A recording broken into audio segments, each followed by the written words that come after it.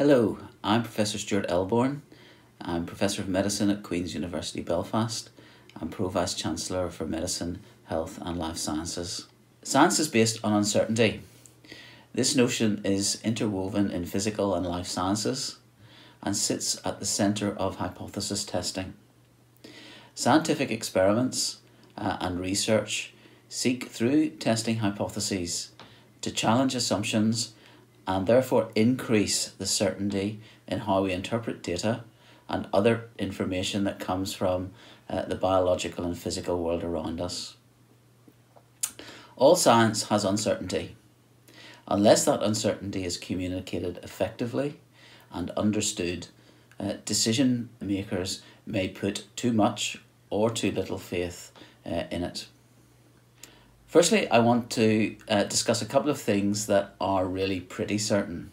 The SARS CoV 2 virus, which causes uh, COVID 19, has the features we associate in general uh, with many viruses in the world.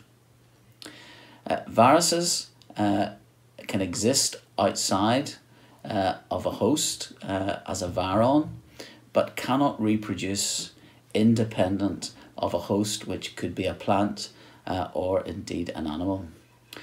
The second thing that's certain is that viruses can't think. They have a very modest amount of nucleic acids, uh, which they use in host cells to reproduce. Uh, during uh, this current pandemic, uh, the SARS CoV 2 virus has been described in a multiple of ways that suggest it has intent. But this virus is neither evil, sly, or nasty.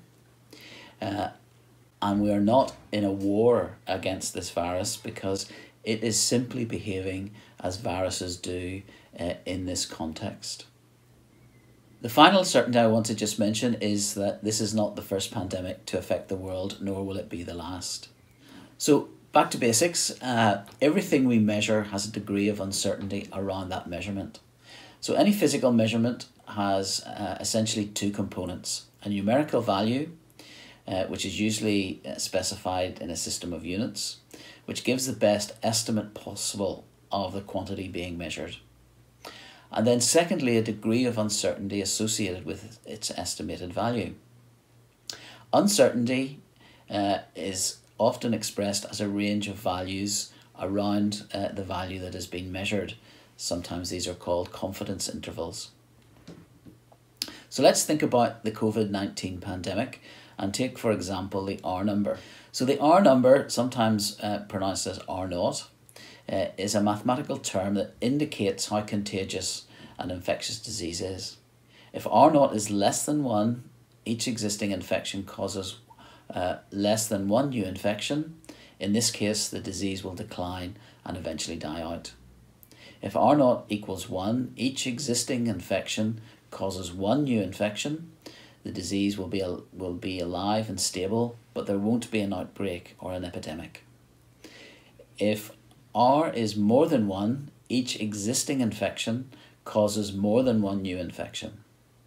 The disease will be transmitted between people, and there may be an outbreak or an epidemic. Importantly, a disease a disease's R naught value only applies when everyone in the population is completely vulnerable to the disease.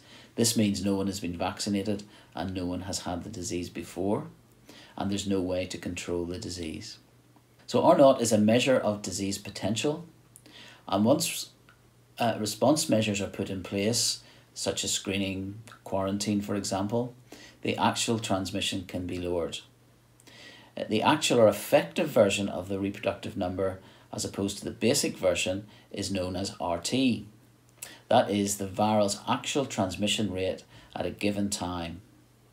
This value uh, has a major uh, focus from our scientists trying to measure or derive it, uh, and from our policymakers and politicians uh, to help with decision making.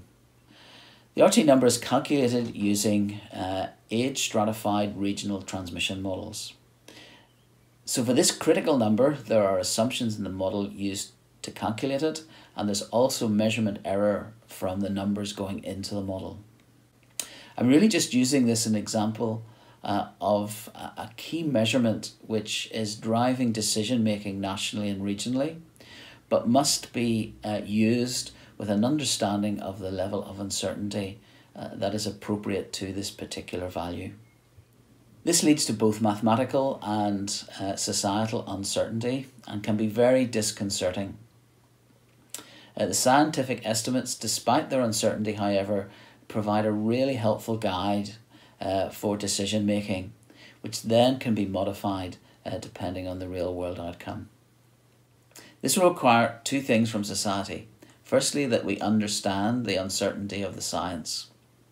But secondly, uh, we need to appreciate that the science has been extraordinarily helpful in the decision making so far, uh, particularly around how uh, models uh, and predictions have helped us manage uh, the initial phase of uh, this pandemic, where the NHS was not overwhelmed because significant increases in, in intensive care beds, ventilators, and availability of hospital beds uh, had been uh, delivered. We do need to learn to continue to live with questioning minds to deal with uh, future challenges from nature, which may uh, result in further pandemic pandemics or other natural and physical uh, consequences of the dominance of human beings on this planet. This pandemic should teach us that we need to understand these uncertainties across the globe and be humble and collaborative in our approach to containing them.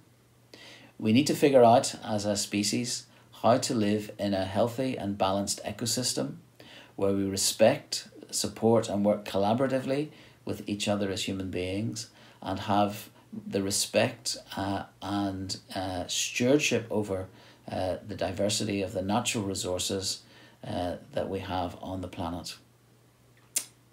Thank you.